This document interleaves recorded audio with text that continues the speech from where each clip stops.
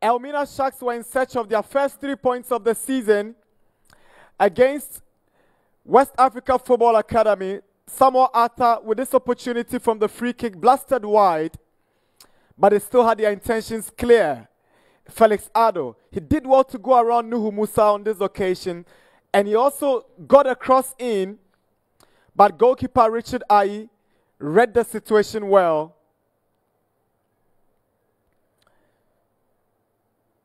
Amin Mohammed, he was very quiet in this evening's game. He found Umar Bashiru, but Richard Atta was equal to the task. Wafa made a haste of this one, but Nuhu again stepped up to clear his lines. Then Aminu's delivery headed in by Lomote. Again, it will not trouble goalkeeper Richard Atta. This is the delivery from Impon. Good connection from Benjamin Arthur, and that was the first goal. Nobody was marking Benjamin Arthur. Sweet delivery from Impon. And that is the second goal from Crentsil.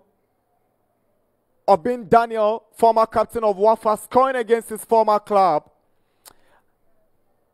Aminu did his best, but it wasn't enough. All he could do never got Wafa what they needed.